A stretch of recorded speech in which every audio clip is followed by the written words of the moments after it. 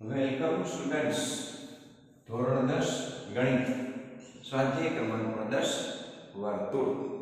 અગાઉના પીરિયડમાં આપણે વર્તુળ વિશે જુદી જુદી પરિસંકલ્પના એટલે કે વ્યાખ્યાઓનો ખ્યાલ મેળવ્યો. અત્યારે પેજ નંબર એકસો એક્યાસી પર વર્તુળનો સ્પર્શક એ મુદ્દામાં ચર્ચા કરવાની છે. જે રેખા વર્તુળને કોઈ એક જ બિંદુમાં સ્પર્શે, તે રેખાને વર્તુળનો સ્પર્શક કહેવાય. એવું આપણે આકૃતિ દસ પોઈન્ટ પેટા ક્રમાંક ત્રણ આકૃતિમાં આપેલું છે. વિડીયોઝની અંદરમાં જોતા હતા કે શાકભાજી વેચવાળાએ છાબડું પૈકું એ ભંગાર વેચવાળાએ, અથવા તો ન્યાયની દેવી. એ જે છાબડું પૈકું ને એક જ જગ્યાએ, બે બાજુ સરખા છાબડા છે. એને આપણે વર્તુળનો સ્પર્શક કહી શકીએ છીએ. અથવા નાના હોય, ત્યારે ઓલું વ્હીલ ફેરાયું હોય, ચોક્કસ મજાની સળી હોય, બરાબર? લોખંડની. એક જ જગ્યાએ વર્તુળને સ્પર્શતી હોય, વ્હીલ ફરતું જતું હોય. અથવા તો આપણા મોટરસાઇકલની અંદર જે ચેન છે. એ ચેન કોઈ એક જ જગ્યાએ વ્હીલને સ્પર્શતું હોય. બરાબર? બે જગ્યાએ નહીં, એ પણ વર્તુળનો સ્પર્શક છે. તો દીકરા, વર્તુળનો સ્પર્શક. દસ પોઈન્ટ બે મુદ્દો. અગાઉના વિભાગમાં આપણે જોયું કે વર્તુળનો સ્પર્શક, વર્તુળને ફક્ત એક જ બિંદુમાં છેદતી એક રેખા છે. વર્તુળના કોઈ બિંદુએ વર્તુળનું અસ્તિત્વ સમજવા માટે, સ્પર્શકનું અસ્તિત્વ સમજવા માટે આપણે પ્રવૃત્તિ કરીએ. પ્રવૃત્તિ એક શું છે બેટા? કે વર્તુળાકાર તાર લેવાનો, ગોળ તાર લેવાનો. અને એક સીધો તાર. એવી વર્તુળાકાર તારના બિંદુ પી પર એવી રીતે લગાડો, જેથી તેના સમતલમાં બિંદુ P ની આસપાસ ફેરવી શકાય. આ પ્રણાલી એટલે જે પ્રક્રિયા પાત્રો છે એને ટેબલ ઉપર મૂકો. સીધા તારની અલગ અલગ સ્થિતિ મેળવવા, તાર એવીને બિંદુ P ની આસપાસ હળવેથી ફેરવો. તાર છે ફરતો રહેવો જોઈએ. અહીંયા એક તમારી પાસે સ્કૂટરનું વ્હીલ હોય અને એક સરસ મજાની ફૂટપટ્ટી જેવું હોય, તો ફૂટપટ્ટી છે એ આખા આખા વ્હીલ ઉપર અલગ અલગ દિશામાં ફરતી હોય. જે દિશાઓ તમે નીચે ઘણી બધી આકૃતિ આપી છે બેટા, એ આકૃતિમાં નિહાળી શકો છો. આકૃતિ દસ પોઈન્ટ ત્રણ એક તમે નિહાળો. જુદી જુદી પરિસ્થિતિમાં આ તાર વર્તુળાકાર તારને P અને બીજા બિંદુ Q કે Q2 અથવા તો Q3 વગેરે બિંદુમાં છેદશે. આકૃતિમાં Q1 Q2 અને Q3 તમે નિહાળો. કોઈ એક સ્થિતિમાં તમે જોશો કે તે વર્તુળને કોઈ એક જ જગ્યાએ સ્પર્શે, બે જગ્યાએ નહીં. હું તમારા ઘરે મહેમાન થઈને આવ્યો જુદી જુદી જગ્યાએ તમે ચાર ખુરશી રાખો તો હું કોઈ એક જ ખુરશી બેસી શકું. ચારે ચાર ખુરશી ભેગી કરીને બેસું તો મને કોઈ ગાંડો જેમ હું તમારા ત્યાં મહેમાન થઈને આવું છું, હું એક જ ખુરશી પર બેસી શકું. એમ તમે વર્ગખંડમાં આવો છો, તો કોઈ એક જ જગ્યાએ બેસી શકો. તમે પહેલી બેચે વચ્ચે બેઠા હો તો ત્રીજી બેચે ના બેસી શકો. ત્યાં બીજા કોઈ વિદ્યાર્થી ભાઈ કે બહેન હોય, જેમ તમે કોઈ એક જ સ્થાન રહો છો, એમ વર્તુળનો સ્પર્શક વર્તુળને કોઈ એક જ બિંદુમાં સ્પર્શે છે. આગળ જોઈએ છીએ. કે આ દર્શાવે કે વર્તુળના બિંદુ P આગળ સ્પર્શક અસ્તિત્વમાં છે. AB ને વધુ ફેરવતા તમે જોશો કે AB ની બીજી બધી સ્થિતિમાં તે વર્તુળને P અને બીજા બિંદુઓ જેમ કે R1 R2 R3 વગેરેમાં છેદશે. તેથી તમે જોશો કે વર્તુળના કોઈ એક બિંદુએ એક અને ફક્ત એક જ સ્પર્શક છે. આ તમને અગત્યની વ્યાખ્યા અથવા ખાલી જગ્યા પણ આપી શકાય. ખરો ખોટું વિધાન આપી શકાય.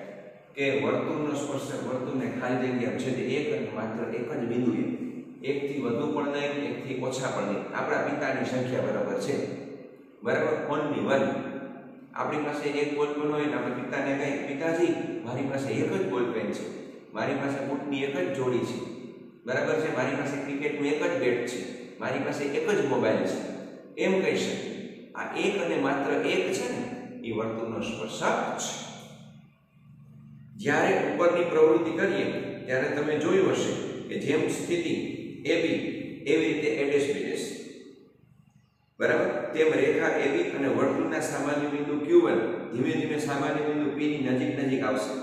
છેવટે A double dash B double ડેશની સ્થિતિ A ડેશ B ડેશમાં બિંદુ P માં સંપાતી થાય છે, એટલે ભળી જાય છે.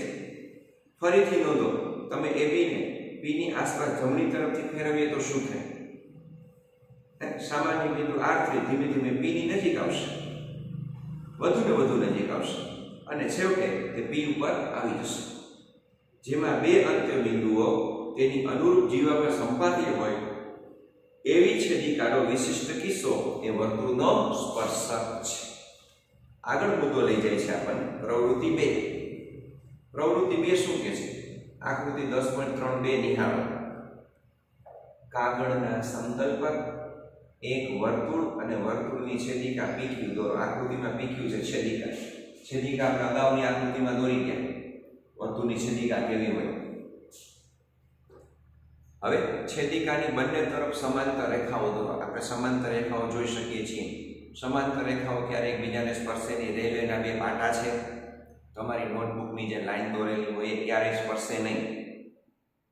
તમે જોઈ શકશો કે રેખાઓ દ્વારા કપાતી જીવાની લંબાઈ ધીમે ધીમે ઘટે છે.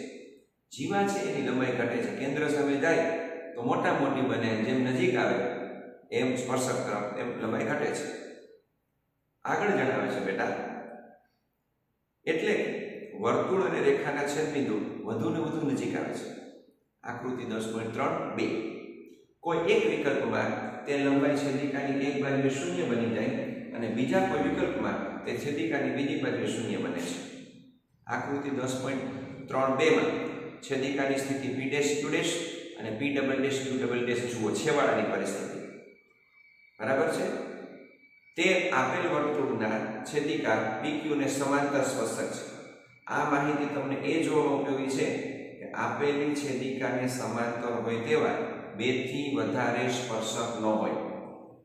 ફરીથી કહું છું, અહીં પ્રશ્ન આપી શકાય. આપેલી છેદિકાને સમાંતર હોય તેવા. બરાબર? બેથી વધારે સ્પર્શક હોય નહીં. આ બે છે એનો સાચો જવાબ છે. અહીંયા તમને પ્રશ્ન આપી શકાય. આપેલ છેદિકાને સમાંતર હોય તેવા. ખાલી જગ્યાથી વધારે સ્પર્શક ન હોય, સાચો જવાબ છે બે. અને જો ખરા ખોટા વિધાનમાં પૂછે તો પણ આવશે બે. તમે જોયું છે કે જ્યારે તમે પ્રવૃત્તિ એક કરતા હો, ત્યારે આ પ્રવૃત્તિ સાબિત કરવા પ્રયત્ન કરે કે અનુરૂપ જીવાના બંને અંત્યબિંદુ સંપાતી હોય ત્યારે છેદિકા એ સ્પર્શક બને છે. વર્તુળ અને સ્પર્શકના સામાન્ય બિંદુને સ્પર્શ બિંદુ કહેવાય અને સ્પર્શક વર્તુળને જે બિંદુમાં સ્પર્શે છે એમ કહેવાય છે. હવે આકૃતિ દસ પોઈન્ટ ચાર જુઓ. આપણે સ્કૂટર જોયું હોય, સાયકલ ફરતી જોઈ હોય, ટ્રક જોયો હોય, ટ્રેક્ટર જોયું હોય, બસ જોયું હોય, હે? તમારી આસપાસ જુઓ, સાયકલ અને લારી તેના પૈડા જુઓ પૈડાના બધા સળિયા ત્રિજ્યાના સ્થાને છે કેન્દ્રમાં છે. હવે પૈડું જમીન પર ફરે ત્યારે પરિસ્થિતિ કેવી છે? પંખો પણ નિહાળો. પંખો પણ ફરતો હોય ત્યારે પરિસ્થિતિ કેવી છે? તમે ક્યાંય કોઈ સ્પર્શક જોયો એ જમીનને અડકે છે ને એ ભાગ? હે? ખરેખર તો પૈડું દર્શાવતા વર્તુળને સ્પર્શક હોય તેવી રેખા પર પૈડું ફરે છે. જમીન ઉપર આગળ આગળ સાયકલનું પૈડું છે, રેકડીનું પૈડું છે સ્પર્શક રસ્તો જે ભાગ જમીનને સ્પર્શે, એ ભાગ તેનો સ્પર્શક છે. અહીં નોંધો, દરેક સ્થિતિમાં સ્પર્શ બિંદુમાંથી પસાર થતી ત્રિજ્યા જમીન પરના સ્પર્શક સાથે કાટકોણ એટલે નેવું અંશનો ખૂણો બનાવે છે? હવે આપણે સ્પર્શકના આ ગુણધર્મને સાબિત કરશું, પણ તમારે બે હજાર વીસ એકવીસમાં પ્રમેય દસ પોઈન્ટ એક અભ્યાસનો ભાગ છે નહીં. નેક્સ્ટ વીડિયો જોઈએ હવે.